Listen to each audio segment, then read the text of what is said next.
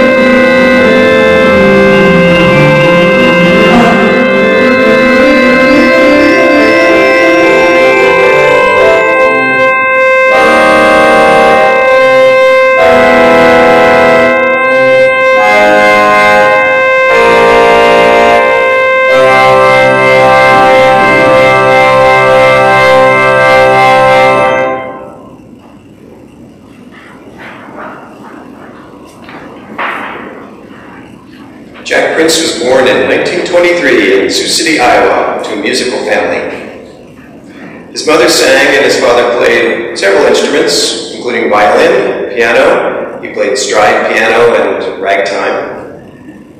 Uh, the pipe organ and the calliope, which was towed along in Shriner parades. They were enthusiastic supporters of Jack when he started playing piano, and Jack quickly became one of his teacher's prized pupils. As a teenager, he learned pipe organ at his church. He was an unusual teen who would practice two to four hours a day. I remember in high school hearing casually, applying no pressure or guilt whatsoever, to, upon his kill, kids uh, that he would rush home from school every day so that he could practice the piano. uh, he also played the trombone and baritone horn in the high school band, so he, he was all in from the start. Jack was a wise man. He knew his abilities and decided not to pursue music as a career. Uh, very, very challenging career um, but instead uh, studied engineering at Iowa, Iowa State University. While at Iowa State, the school offered no music courses for credit, so instead he studied organ outside the college curriculum. He also played in the trombone, in the marching band, and his whole life he loved to be an accompanist. He accompanied glee clubs, and choruses and directed his fraternity chorus. I actually have a photo that you'll see later at our reception of Jack with the award-winning senior uh, Phi Delta, uh, Phi Delta Theta uh, Glee Club. Um, in the spring of 1948, as a senior, at ISU, Jack was invited to direct a combined band and chorus performance at Star of Asia, the Star of Asia Festival, which some of you might not have heard of, so let me tell you a little about it. For all of you who did not attend Iowa State after 1922, the Star of Asia uh, was a Rite of Spring presentation, week-long, college student-led presentation that ended with this Star of Asia performance on the Saturday night. Jack was chosen to direct a performance of uh, combined chorus and um, orchestra in a cantata known as Ballad for Americans, and it's sometimes known as Ballad for Uncle Sam by John Latouche and Earl Robinson. Including three years away in the Army for World War II, he graduated Iowa State in 1948. He got an engineering job at the University or uh, uh, Wisconsin Electric Power Company here in Milwaukee. Naturally, in his early years, he accompanied and then directed the company chorus. Since the 1940s, Jack's musical life has intertwined with Christ Church in White West in 1949, he became its organist and later its choir director. The church is, let's say, also responsible for our family. Um, in the early 1940s, a woman affiliated with Christ Church in Whitefish Bay moved from there to Appleton, Wisconsin, and met my mother, Martha, in the church choir there. When Martha moved to Milwaukee, that same woman arranged for Martha to meet Jack Prince, and eventually, in 1955, they got married, and uh, that led to 65 wonderful years of marriage and three very, very lucky children. While he was choir director at Christ Church, the choir performed Bach's Christ lag in Todesbanden. Charles will now play a portion of it.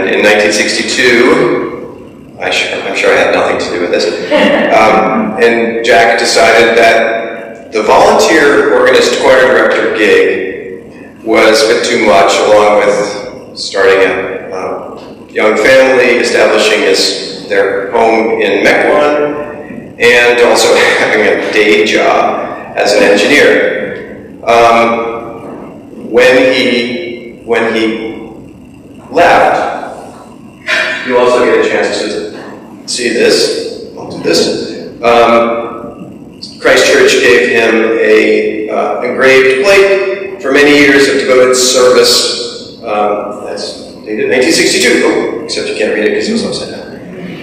Um, he told Christ Church that they needed to hire a professional organist and choir director, and that led to a long and fruitful relationship between Christ Church and a dear friend, uh, Trudy Stillman, family friend, and, and Jack and, and Trudy were, were devoted friends.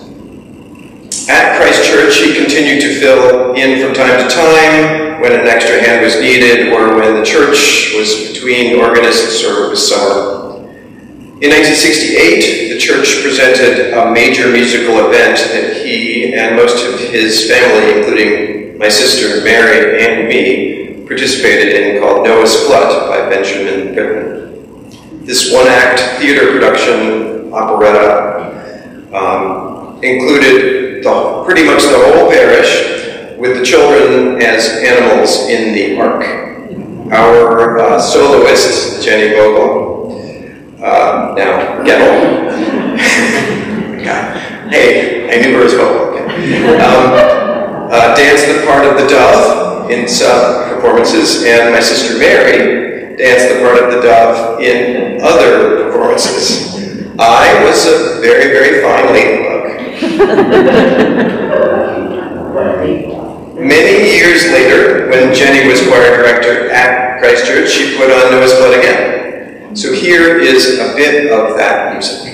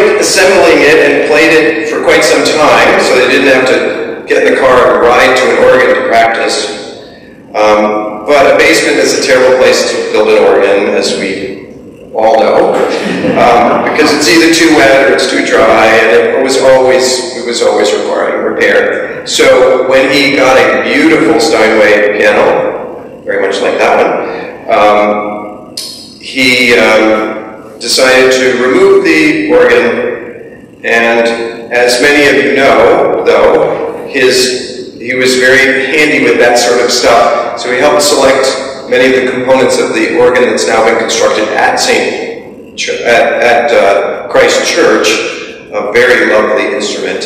And he also, I believe, had a hand in selecting this organ as well. After his retirement from Wisconsin Electric, in 1987, Jack pursued music in many directions. He studied for the exam to be a colleague of the American Guild of Organists, which included uh, sending taped pieces of, of organ uh, works that he performed, and then demonstrating his ability to improvise on hymn tunes and that sort of thing. He also studied jazz piano and learned the fundamentals of jazz improvisation. He substituted as at as many as nine different parishes of many different denominations, including Jewish Catholic and many different Protestant faiths. This required learning many different literatures, uh, liturgies, along with many different organs, because of course every organ is actually unique. He played for many weddings, including mine and my wife Pat's, and um, maybe maybe one or two other people in here. Um, he also went back to playing the baritone horn, which is also known as a euphonium. My mother reminded me of a story on the way to a musical elder hostel program in New Mexico.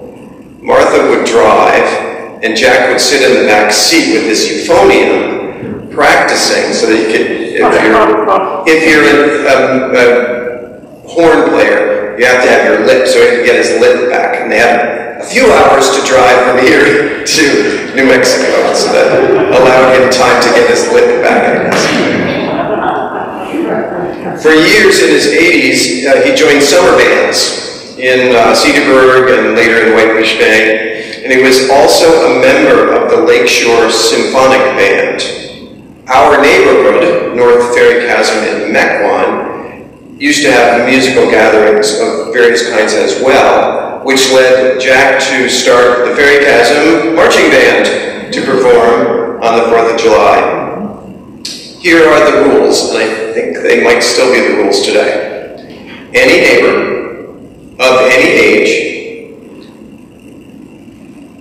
may uh, assemble at noon on the 4th of July uh, with any instrument. They practice for 15 minutes. Music handed out by Jack. Uh, then they played for the assembled friends um, and raise the flag. And then, of course, march, because it's a marching band. They march one block.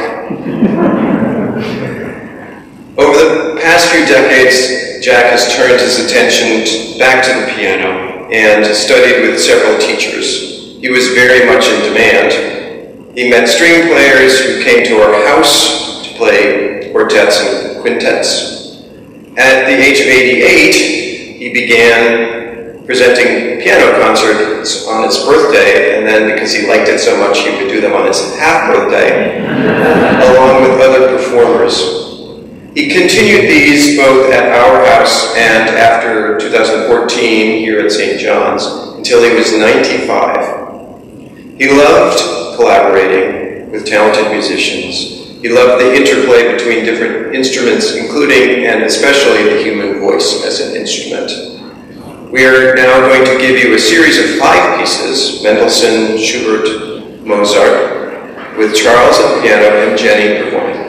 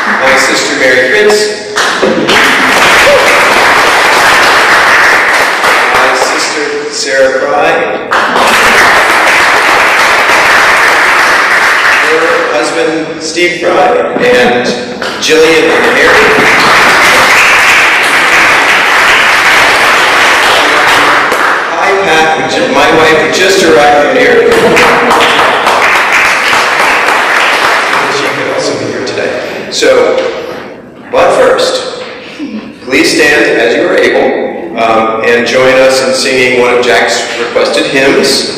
Now thank we all our God. Our words are printed